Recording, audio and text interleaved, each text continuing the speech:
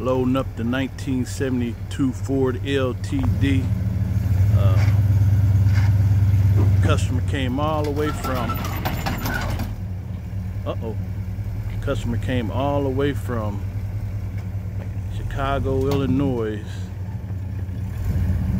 to uh, pick this car up. So, this is part of the Sunday grind.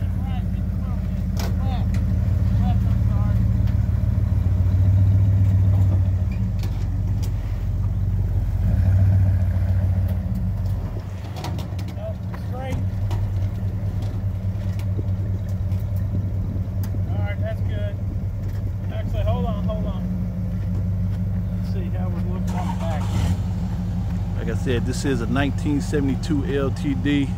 Uh, we had it in storage. Uh, we wasn't going to just give the car away, so uh, we had a Sears buyer come in from Chicago, Illinois, with cash in hand.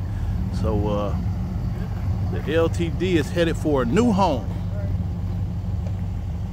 And it's a beautiful day to do business, like my my dad always said. Do business on a sunny day, and today is a sunny day.